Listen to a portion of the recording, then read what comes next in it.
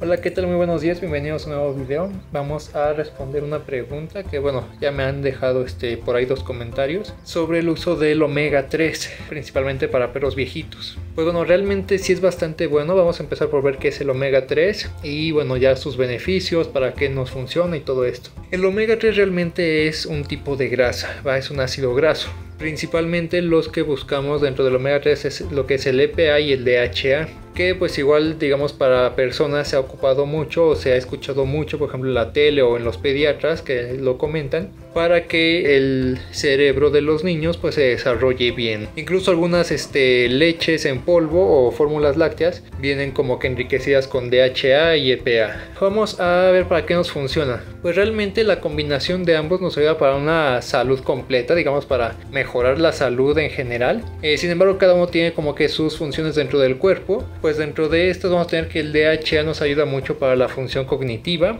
por eso es que también para perros viejitos se llega a ocupar o es muy recomendable para que no se pierda esta función. Por ahí en otra pregunta me habían este, comentado que hablar sobre la demencia senil, lo vamos a ver también más adelante, pero lo que es el DHA o los omegas 3 nos podrían ayudar para esta situación. No es un tratamiento y no es una cura, simplemente es prevenirlo y pues bueno, incluso suministrándolo, bueno, puede pasar un perrito que llegue a tener todavía demencia senil, ¿no? También nos va a ayudar mucho para la función de los ojos, para la función visual. Realmente lo que es el DHA nos va a ayudar mucho para evitar que un perrito pues vaya este, quedando ciego. Bueno, igual me parece que funciona igual este, en personas. La cuestión del EPA, que es otro de estos ácidos grasos que constituyen el omega 3, nos ayuda mucho para la cuestión de articulaciones, que también para perros viejitos nos ayuda bastante. Obviamente con la edad pues las articulaciones van eh, pues perdiendo su movimiento normal o van eh, generando cierto desgaste y el EPA nos ayuda bastante para esta situación. Igual como este para el corazón, el, para el corazón también nos va a ayudar bastante.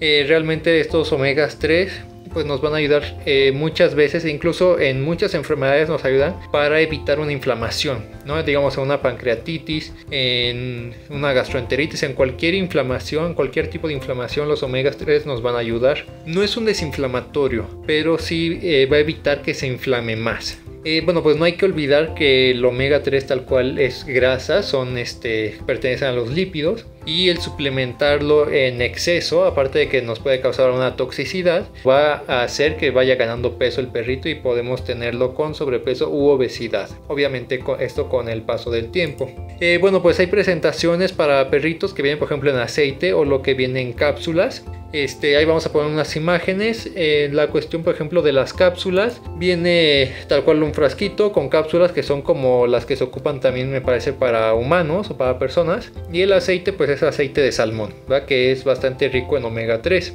Eh, me preguntaban que cuántos tiene que dar y por cuánto tiempo. Pues bueno, esto depende mucho del peso del perrito, de la concentración que venga el producto y del problema que presente. Porque vamos a este, suponer, bueno, de las imágenes, por ejemplo, que pusimos de esos productos productos en específico.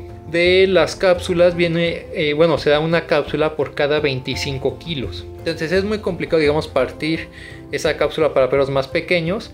Se puede usar el aceite o eh, adquirir cápsulas de menor concentración.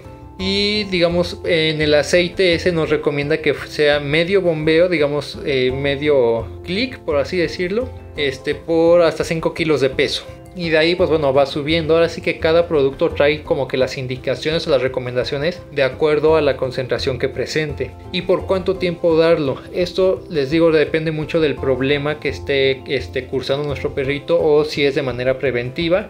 Pues bueno podemos darlo eh, de por vida obviamente una dosis muy baja y haciendo pausas. Esto no es bueno que digamos diario lo esté consumiendo por el resto de su vida. Entonces podemos darlo diario por un tiempo se suspende eh, también igual por un tiempo y se vuelve a dar. Pero todo esto va a depender de eh, las condiciones en las que se encuentre nuestro paciente. Y bueno, eso va a ser todo por este respondiendo preguntas. Nos vamos a ver en los siguientes videos y que tengan muy buen día.